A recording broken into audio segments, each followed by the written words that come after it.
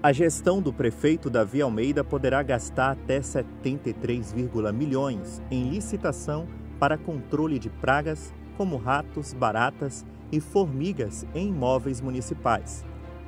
Esse é um dos valores do serviço proposto para uma das 13 empresas participantes pelos cinco lotes do pregão de uma área total de 7.405 milhões de metros quadrados, o que equivale a 897 campos de futebol.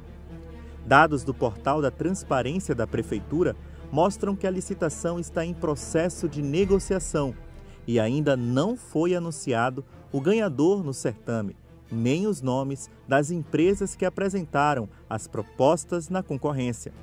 A empresa que ofereceu o menor valor ainda será analisada pelo pregoeiro e promete cumprir os serviços nos cinco lotes pelo valor de 5,169 milhões.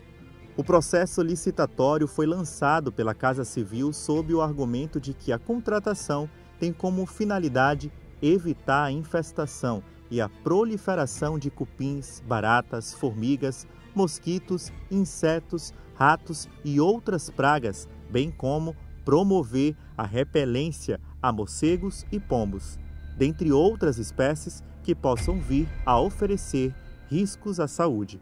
Os serviços devem envolver a aplicação raticidas e repelentes, além de desalojar morcegos dos forros dos prédios.